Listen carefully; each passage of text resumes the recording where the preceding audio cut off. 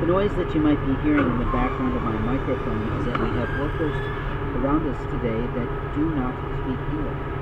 I just openly heard a man shouting to the rooftops in Spanish or some sort of Latin-based language.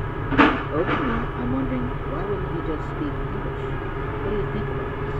Does this mean that the person is being illegal in being here? Or does this mean that the person up there doesn't speak English?